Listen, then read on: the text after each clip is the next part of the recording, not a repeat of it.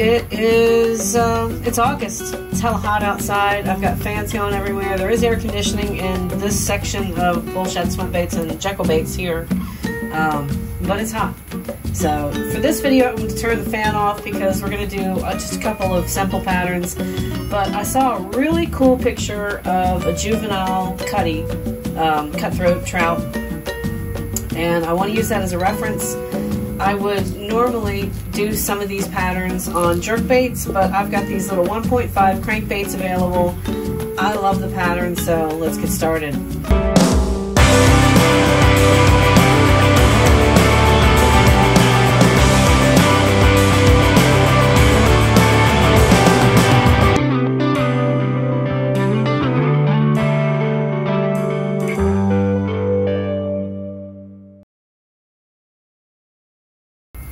Got some of this Wicked White. It is a detail white. It's somewhat transparent, but not completely. Uh, as far as this pattern goes, it does not need to be at all transparent. Uh, if you look at trout, they have kind of a whitish belly, almost a pearl white. And yep, it's coming. We're going to be using that Mission Starship White. Uh, but I want to get a good base coat of white down first on these guys. And we're going to go running down all four at the same time so that you can see again how we do it. It's just one color at a time, and once you get used to doing that, you should be good to go.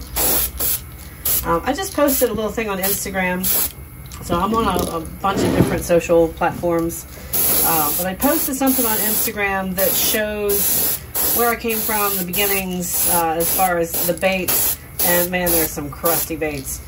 Uh, using fingernail polish and glitter and stuff, and it's just the stuff when you don't know what the heck you're doing, that's how you start out and I think that's really good to show the progression. But in the same respect, it also shows that I didn't come out gangbusters and, and really great patterns to, to begin with. I didn't have a whole lot of people that I could turn to or look at to get instruction. So most of what I did, with exception to, I would say, um, Gerald Novick was out there. Um, Michael Ornstein was out there. He was one of the pioneers that taught a little bit about uh, how to airbrush fishing lures on uh, on YouTube. And there were a couple others, but you just yeah, I think Solar False Bait Solar has been around for a very long time. Uh, but as far as teaching how to how to do fishing lures, there just wasn't a whole lot there. So a lot of what I did, just like I'm sure a lot of what you guys might have done, was trial and error. So today there's it's saturated with stuff but what i notice is people come and go. So there's very few people and, and me being one of them that have been on youtube i've been on since 2012 um, not all fishing teaching type stuff but mostly fishing. Uh, some of my old music videos and live shows and stuff like that if you really want to scroll back they're back there. Um, you can find that. So um, just a, a you know, progression in, in the craft, a progression in the level of skill. I think a lot of that comes into play. And I've really, I'm making an effort this year to really go back to my roots and start teaching again because I miss it. I love teaching. Uh, one of the things that I enjoy. So we're going to stop this long introduction and get into the next color, which is going to be kind of like a cream bone. If you look at the picture, it's uh, it's kind of a fade up from the belly. This next color is a Tim Gores Bloodline, and it is the illustration, get that in frame for you guys, illustration Old Bone White. And I'm not going to go all the way up with it, you'll see why in a little bit. I just want to get a little bit of variation between the real, real white and the rest of the bait. I just want to put just a tiny little bit of this down.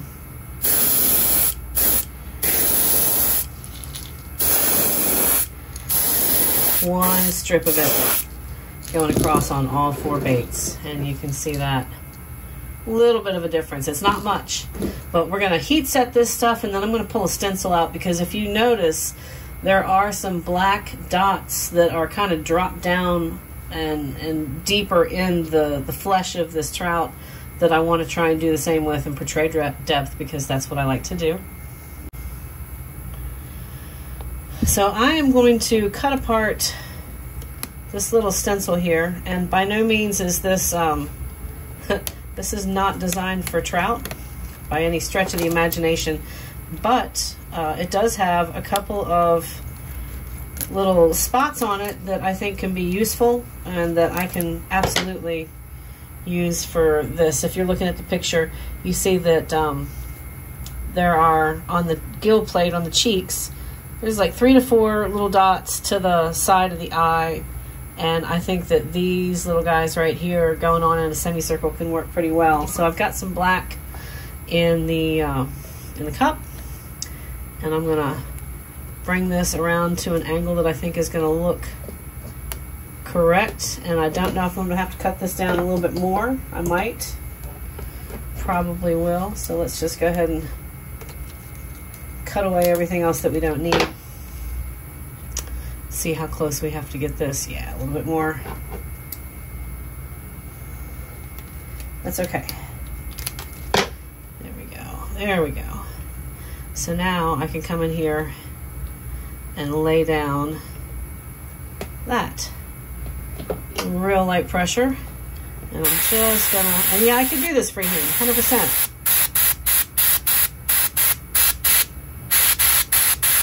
But since I'm doing more than one, kind of want that consistency in all of them. If that makes any sense. So we're going to do it on each one, both sides. We'll flip it over for the other one.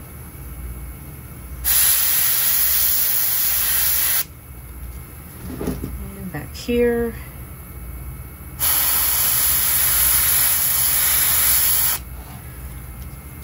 Now we have some consistency on the cheek.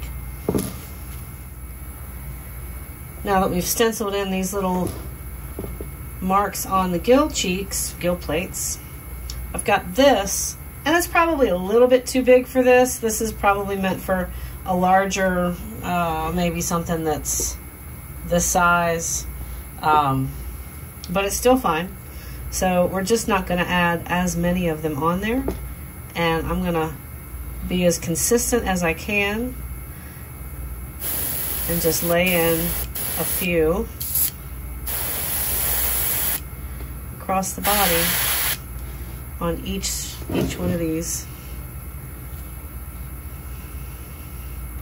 And you'll notice that there's marks above and then below where the uh, where that lateral line is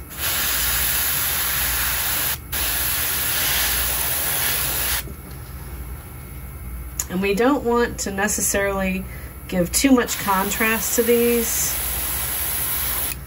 simply because we need to drop this back into the background. So this is going to be under several layers. I just wanted it over top of the initial cream layer. And I'm going to reverse it on the opposite side. And again, just so we get in a little bit of reference, there are a lot of really, really cool markings on this cutthroat that you normally don't find on a rainbow. I mean, brown trout are full of those dots, um, but usually on rainbows you get consistent, like the lower section of this, if you're looking at the at the shot, and then onto that I can just add a couple of freehand parr marks, about four.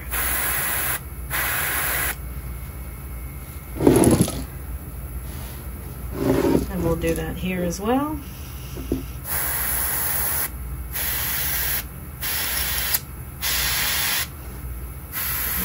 underneath.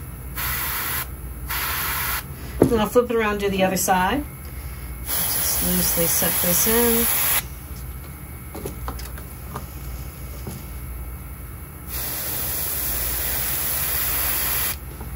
There we go. And then just do about four. I'm doing four on each one in freehand. Just because freehand does look a lot more natural than a stencil. Now, if you're looking at this on the screen, You're also noticing that unlike a rainbow trout, the lateral line has got more of a rusted orange, orange-ish color. And what I want to do with that is just bring that in where the lateral line would be. And I'm going to place it as, uh, as broken as it is and appears. You don't have to go very hard with this at all. Just a couple of spots. You see how that's going. Just, just enough to get it in there. Super light. Just control it.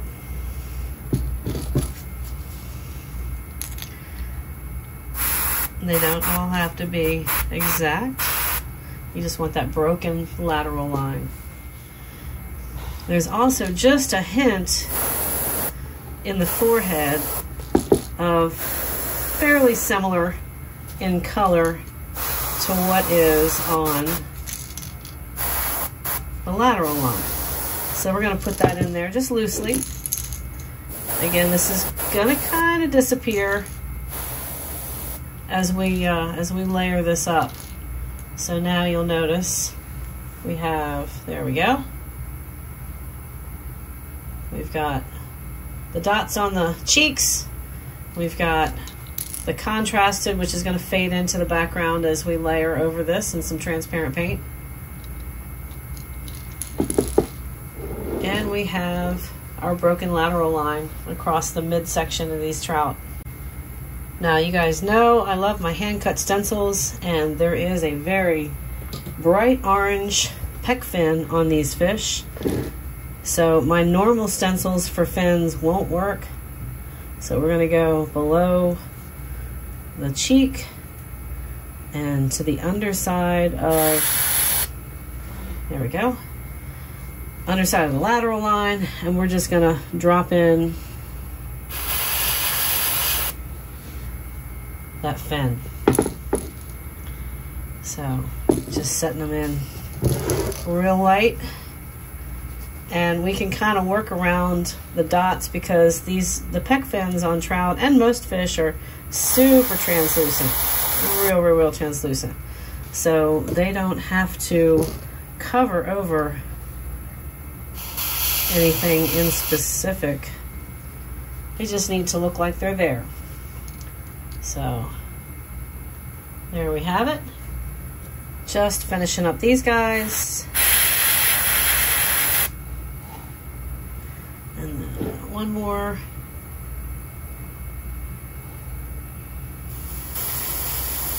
Right about there. Now here comes that Starship White.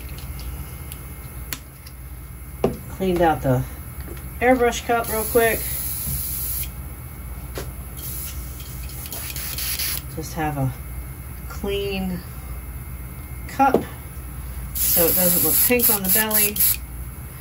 And now I'm going to come on the belly of these trout and lay in that pearl and start to bring that up the sides to drop this stuff into the background. Never want to have too much in the cup. I'd rather refill it So now we're starting to get a little bit of transparency.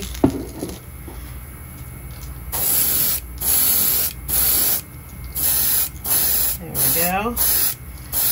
And we're starting to see what depth would look like naturally.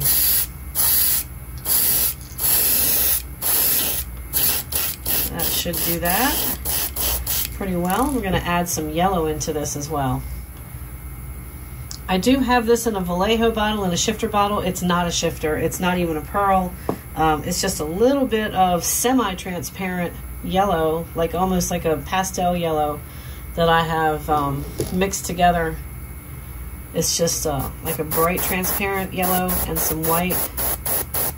I just want to kind of lay in a couple areas. You can see how that looks. And I want to do this broken the same way I did the orange.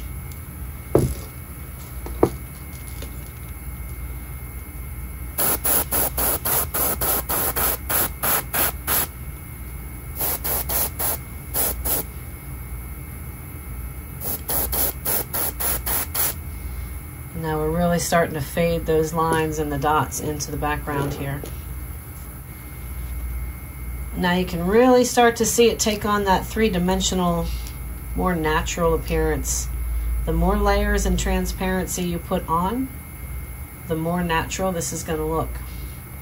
So I'm going to do just a, a quick, I'm going to get rid of all the rest of the yellow in this and add just a tiny bit of yellow to the head and the spine. And we're also going to layer that over top. That's perfect. The right amount was in the cup. We're going to layer some brown, probably some sepia and some raw umber over that. So I'm kind of kind of working on the fly here, no pun intended. Um, but I'm going to do some sepia across the upper third, real light. It's got more of a reddish hue to it. And then over top of that, I'm going to add that detail raw umber, which sepia is got a little bit more red to it, which is fine in this pattern. You can see little hints of that in the browns, but at the same time, you don't want you don't want to go crazy with it. You want that transparent brown look.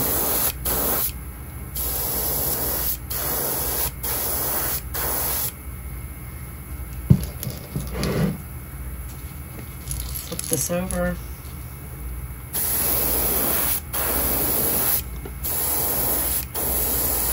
There we go.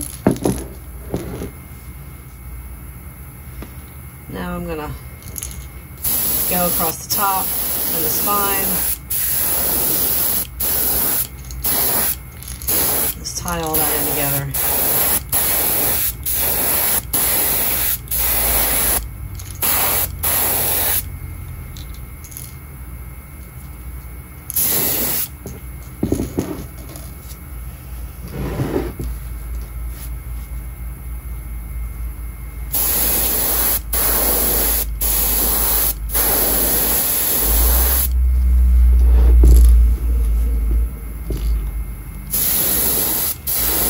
It'll blend pretty well. There we go. Just finish that up.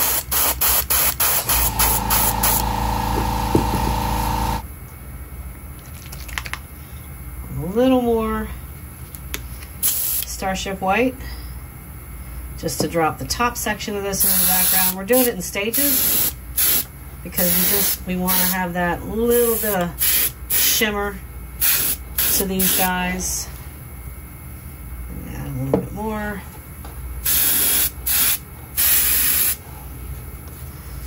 Put this.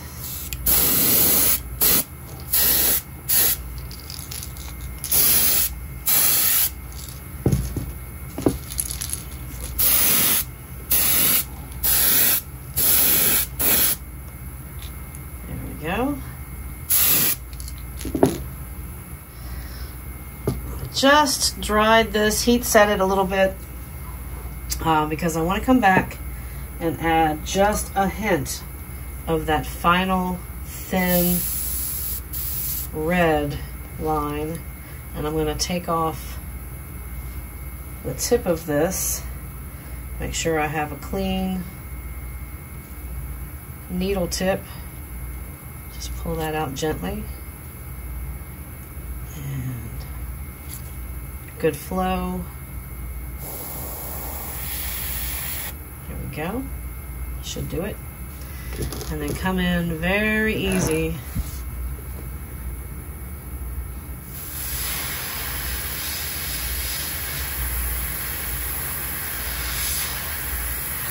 run that across.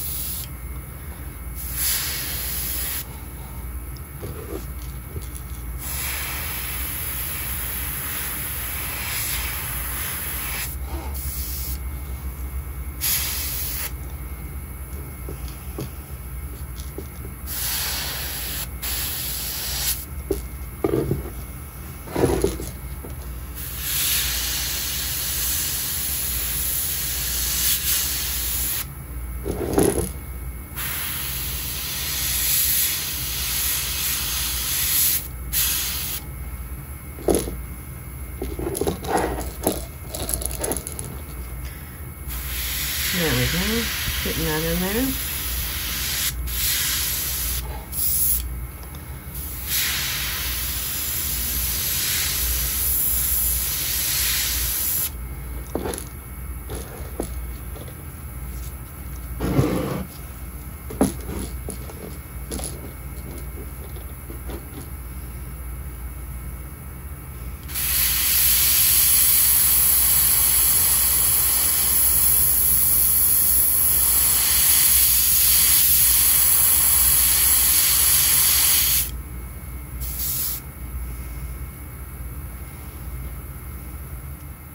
Good deal. Now, although you can't really see it that well in the picture, um, cutthroats have a slash, hence the name.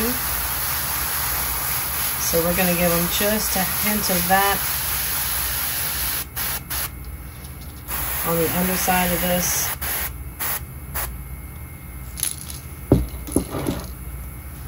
And then at the end, we're going to lay in the uh, the last of the black dots and probably come over the pec fin just a little bit more.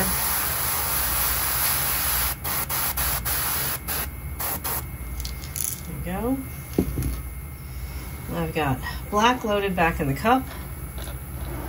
And this stencil, it's not super, super easy to have a lot of randomization, but you can use less pressure and get a much less dark, less contrasted look.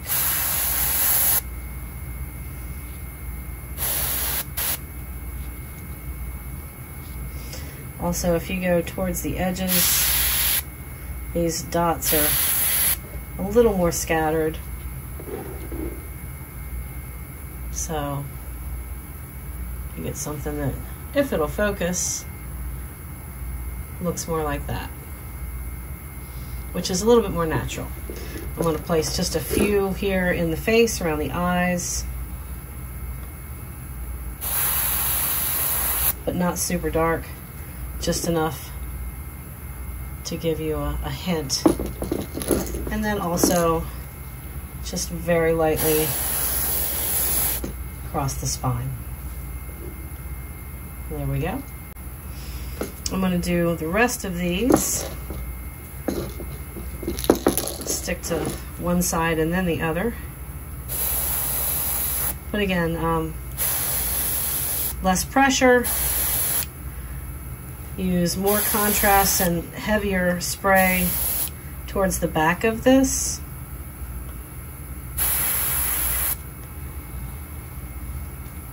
Because that's how it appears. It's, it's a good bit darker along the top section here and towards the back of the bait then just super light.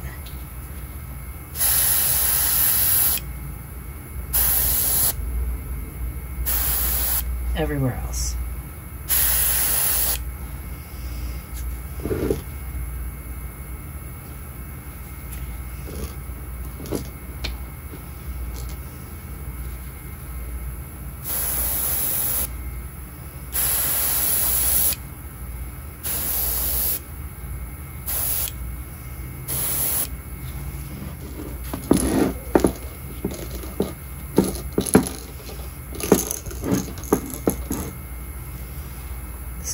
here.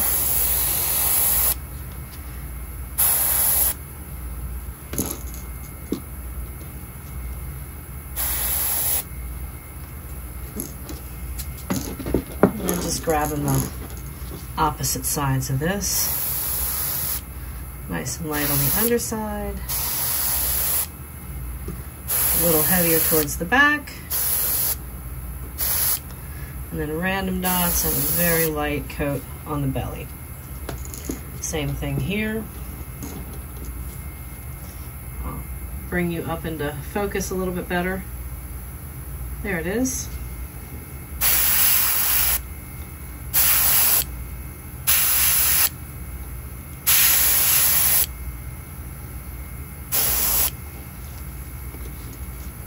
Real light on the belly. Darker towards the back. So that gives you a fairly accurate portrayal. There's probably a few too many dots on here for the picture that you see. But as far as the coloring and being able to get that close on a 1.5 versus a jerk bait where you have a little bit longer of real estate, I'd say not too bad. Now I could go a step further and I might. Um, if you look real close at the cheeks, those three to four black lines just to the outside of the eye, they are kind of almost like a brown trout where you've got a little bit of white behind them. So I might ring those with um, some freehand, like maybe with a acrylic marker, just real light, or I might leave them as they are. Uh, not super critical to the development of this bait, but yeah, if you want to do it, go for it. Certainly not going to hurt anything. Now the one thing that I'm going to do is I'm going to redefine this pec fin. Um, I just feel like it need it kind of almost dropped too much into the background where I should have probably waited. Uh, just happened to do it when I had the orange color into the rest of the bait. So I'm going to come back over this and finish that, make bring it more into the foreground, drop those dots behind it so it looks more natural. Look at that. Make sure I've got good flow in the cup. And then just line that up. Come over it again. And see that makes all the difference in the world doesn't it? You don't want to go too dark with this stuff. Uh, number one it's a, it's a very thin transparent but this this stuff runs really really easy. But I do like this pec fin this orange pec fin to stand out a little bit and bring it more into the foreground and uh, just going over it and coating it one more time seems to really do the trick with this so I'm much happier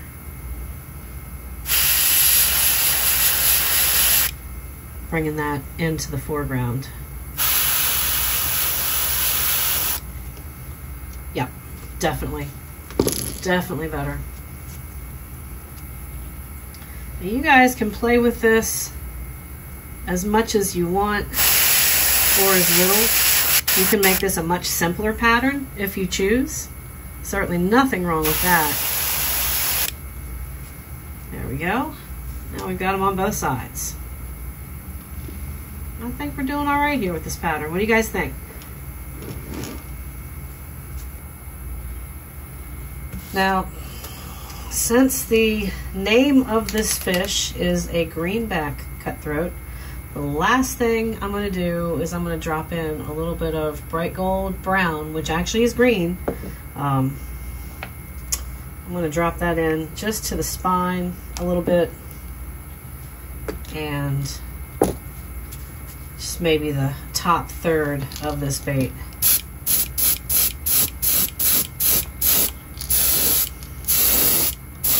You can instantly see that, yep, that's a green. Just to give a little bit of extra something to the finished product here.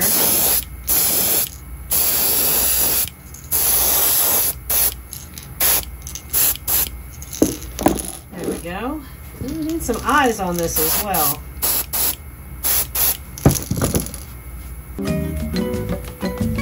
So adding some, what I would consider trout eyes this.